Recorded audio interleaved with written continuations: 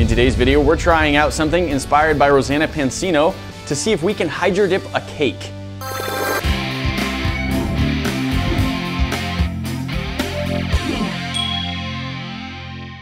All right, Nate, what are we doing?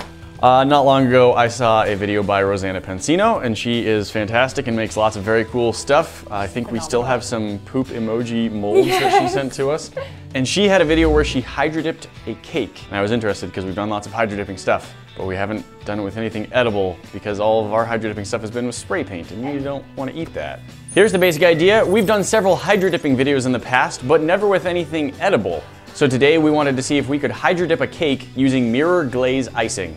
I was hoping to do more of an opaque mm -hmm. coloring because when we use spray paint, like it usually goes on and just covers whatever is beneath it. And so I wanted to try using a different kind of coloring. Instead of the oil-based dyes that she used, which float on water, I wanted to try using the mirror glaze frost, I don't know if you can call it frosting. It's more of a gel, yeah. really. Gel icing. Icing, yeah, icing is a good word for it, I guess. Mm -hmm. But the problem is that mirror glaze icing does not float on water even a little bit. It sinks right down through it immediately. Mm -hmm. So we needed something a little higher density, and what we ended up with, corn syrup.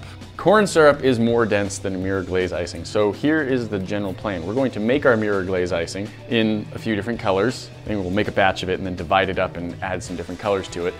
And then we'll do it. I think we'll try some small scale tests with it, but the idea is to pour the icing on top of corn syrup, maybe draw some fun patterns in it, and then see if we can hydro dip. I don't know if it's hydro dip, it's Corn syrup dip. Fructose dip. So if you're not familiar with what a mirror glaze icing is that you might see on cake sometimes, it is this very, very thin layer of heated chocolate, sweetened condensed milk, candy melts, just kind of depending on what sort of colors you're trying to get.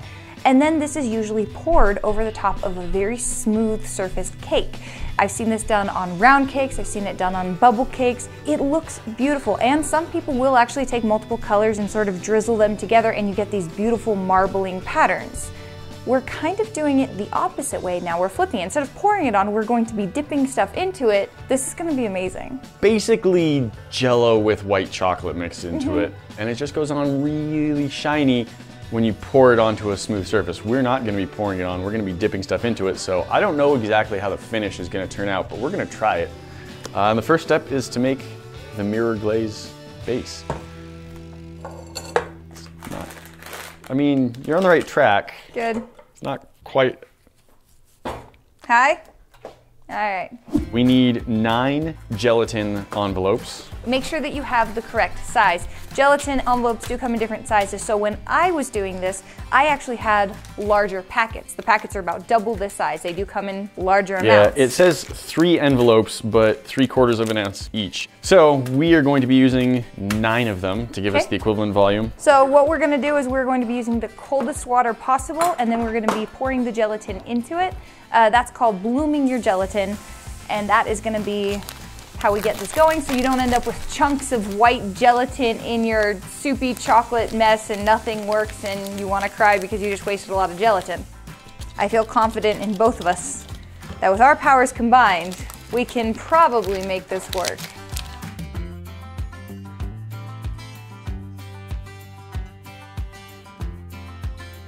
Behold the sort of bloomed gelatin slurry. The problem is that you have to make sure that you've got all those white chunks disappeared because that's going to be what will cause a problem during the heating process. So now this is the sugar, water, and some corn syrup. We heat this up just until it's boiling, and at that point, we turn off the heat and add all of our bloomed gelatin into it and stir it until it's completely dissolved. Once it's dissolved, we're going to pour that into our white chocolate and sweetened condensed milk mixture. So a lot of transferring from one thing to the next here.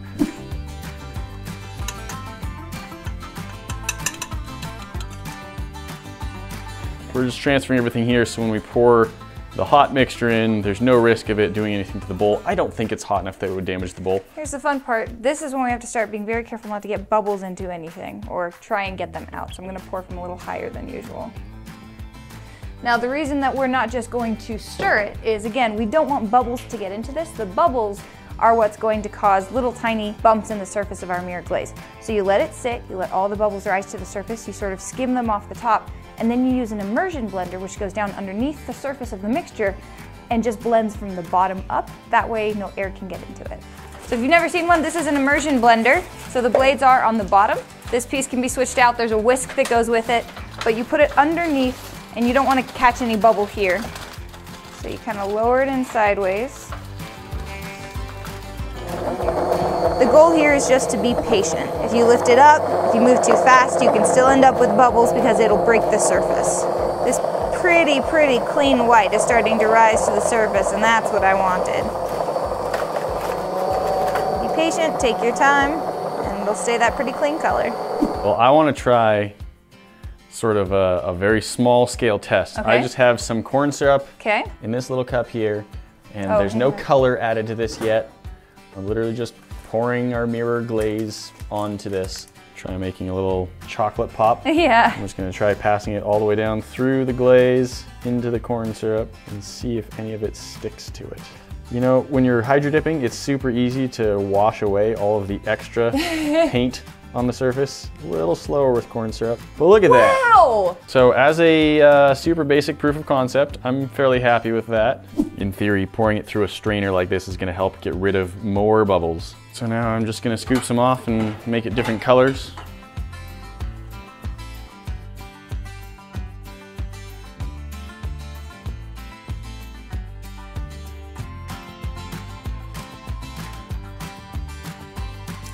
We want to have pretty much as much corn syrup as we can fit in here while still having room for the cake itself to go in without causing it to uh, spill over too much.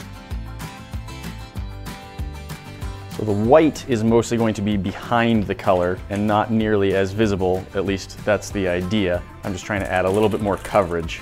I'm gonna try and dip this down in Yep. and then I'll need you to just clear everything off from the sides. Here goes. Nice. I would say just focus on the side next to me. Oh, all right, well, it didn't go the direction I wanted it to. But look at that! Yes!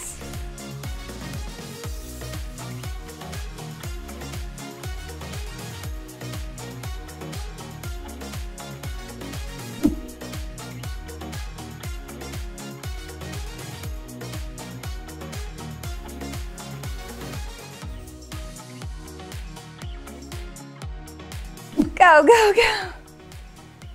It kind of floats, that's nice. Yeah. just, the time. All right, scrape away. We're just gonna pull it out and see how it looks. Oh. It's gorgeous. It's not the pattern you wanted, Nate, but it's gorgeous. I mean, it's neat. It is really neat. Okay. It did lose some, a fair amount of the definition. We'd probably have to experiment with this for Yes. weeks before we got I also clear results of the best way. we're working with, with cakes that are a little too large because the thing is, is it's so much easier when you can pull the item down and then scoop up out in a clear spot. Yeah. I have pieces that are about the size of ice cubes ready to go, and we also have some, I have six flower shapes about this big. So we have, I like, I brought enough so that we could do lots of fun stuff. To keep the colored gelatins from cooling down too much, I've been microwaving them anytime it seems like they're getting too thick. And that might be cooking something inside so that it's not gonna pour quite the same, but so far it seems to be working well enough.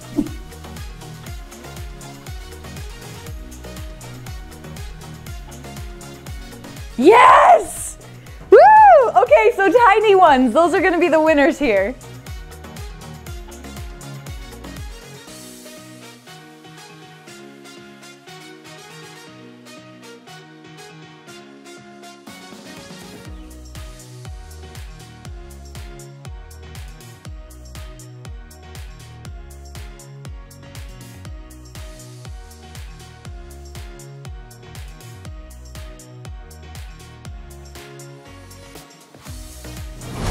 Okay, Some success!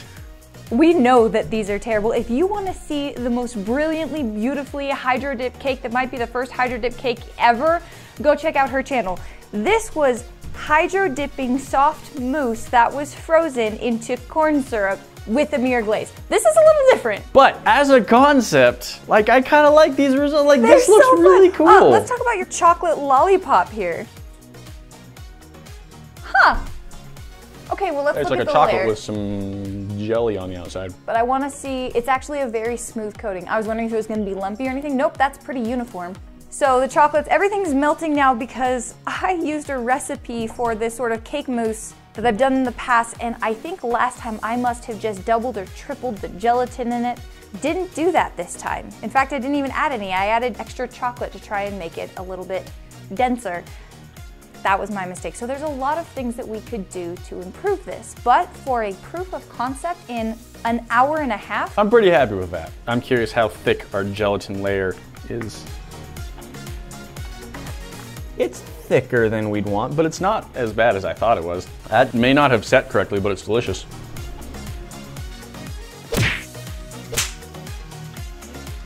Guys, that's it for today. If you like watching stuff like this, go ahead and hit that circle to subscribe, and we'll see you in the next one. Talk to you then.